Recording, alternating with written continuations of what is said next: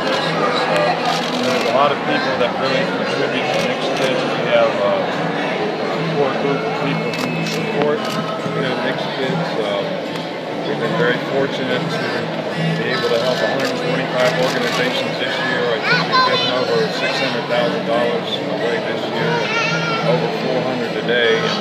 Um, I think it's about $4.6 million since we've been here. But I'd also like to say how important it is to us that we're helping the kids. And we also have a tremendous amount of appreciation for all the people who work every day and give their lives to helping the kids. I think those are those are the people that uh, really should be the heroes here today. So, questions? Coach, what is it like just being able to interact with these people and know that your success on the field translates to helping the streets ring? Well, you know, I think it's important for all of us. You know, we have about 20 players here today. I think our players understand the importance of giving back to the community.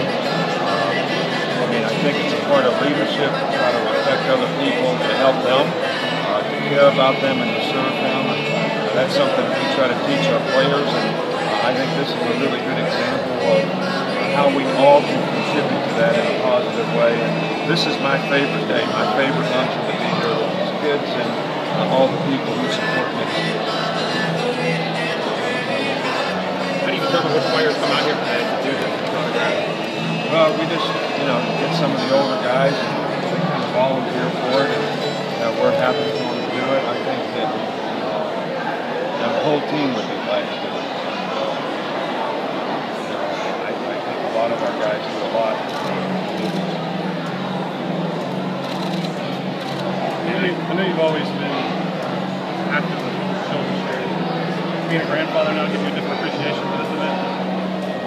Well, you know, I, I think that I've said this before, but you know, this is really a family thing for us. You know, my dad, this Nick's Kids is about my father. It's not about me.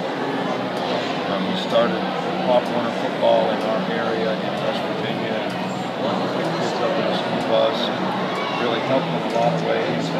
Lot of those guys went on to be very, very successful, graduated from college, played college football, got scholarships. Um, and my mother, since my dad passed away many years ago, has always sort of wanted to use our position to try to continue that legacy.